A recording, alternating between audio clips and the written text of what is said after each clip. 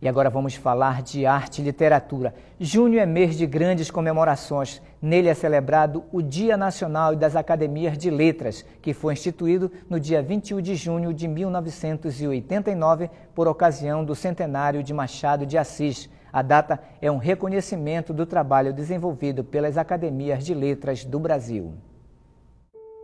Há 26 anos, a data foi sugerida pelo acadêmico paraense Milton Moreira, que na época era presidente da Academia Paraense de Letras.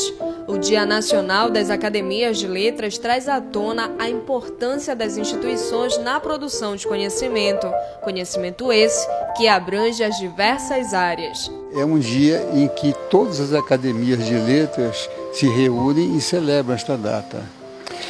Esse dia foi criado por proposição do nosso acadêmico Ilmo Moreira em termos nacionais e foi finalmente aceito e estabelecido que seria a data indicada para comemorar o Dia das Academias de Letras do Brasil, justamente a do centenário de Machado de Assis. Então, com esse gesto simbólico, ele praticamente transformou-se no patrão de todas as academias de letras.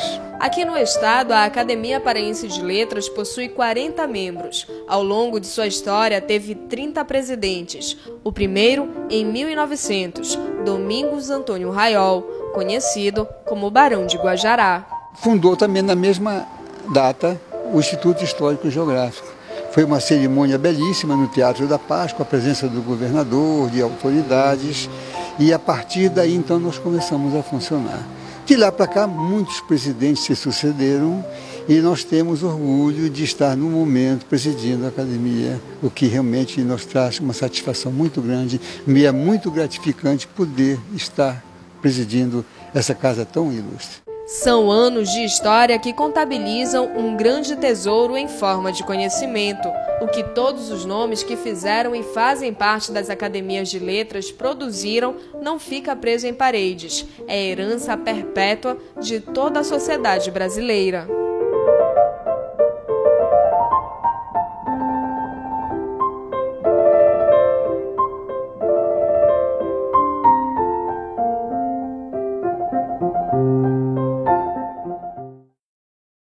Uma ideia que pode evitar muitos acidentes de trânsito. Motoristas de Porto Velho estão sendo conscientizados sobre os perigos e a ilegalidade de dirigirem após a ingestão de bebidas alcoólicas de uma maneira diferente.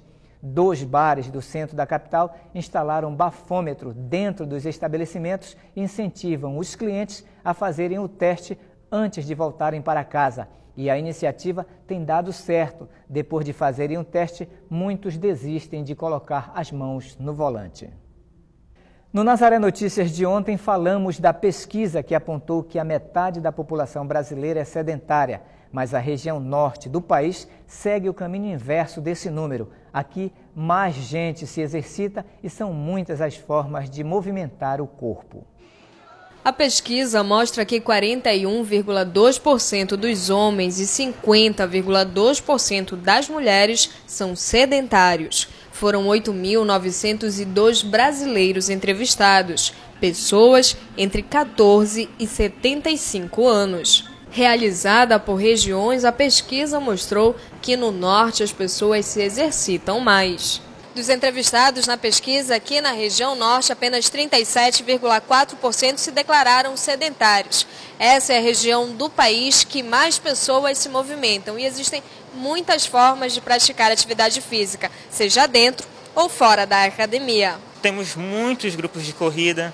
Hoje você anda aí fim de semana pela cidade, até pela região metropolitana de Belém, você vê muitas pessoas andando de bicicleta, de patins, fazendo caminhada.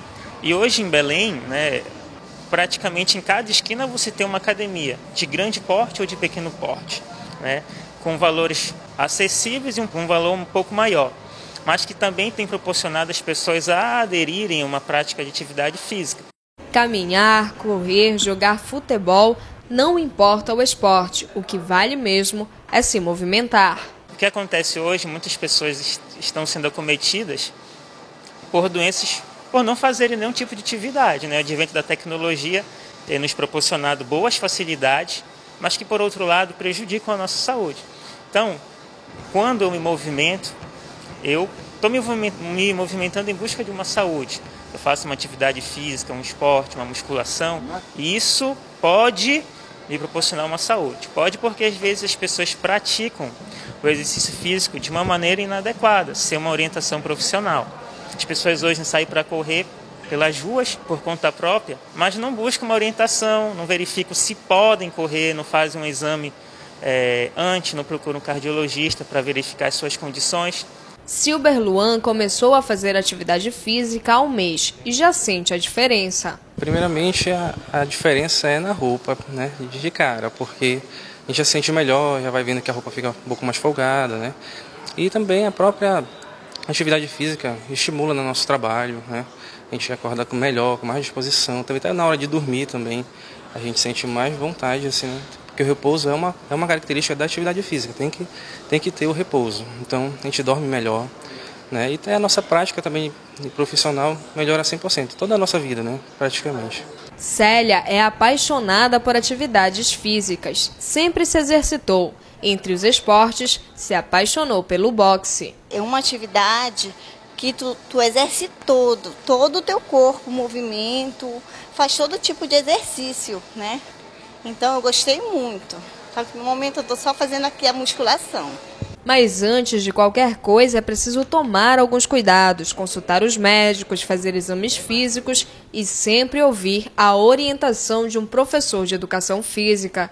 Os exercícios aliados a uma boa alimentação e descanso fazem toda a diferença na saúde do corpo e até da mente quando a gente está num, numa atividade física, assim, ó, agora eu estou malhando aqui, fazendo é, musculação, eu não sinto nada, a minha saúde fica a 10. E quando eu paro, eu não consigo, eu sinto dores no meu corpo, e aí faz mal para gente, né, ficar parado. A gente fica mais disposto para fazer as nossas atividades. É... Nosso percentual de gordura diminui bastante, porque hoje as pessoas têm engordado, né, por conta de uma alimentação má, por conta de não ter essa educação.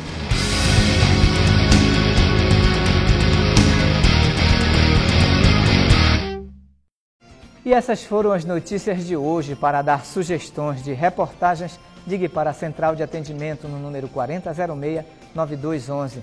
E se você quiser rever nossos vídeos, acesse o portal Nazaré, www.fundacionazaré.com.br ou acesse a nossa página no Facebook. O Nazaré Notícias fica por aqui, nos encontraremos amanhã na próxima edição. Até lá!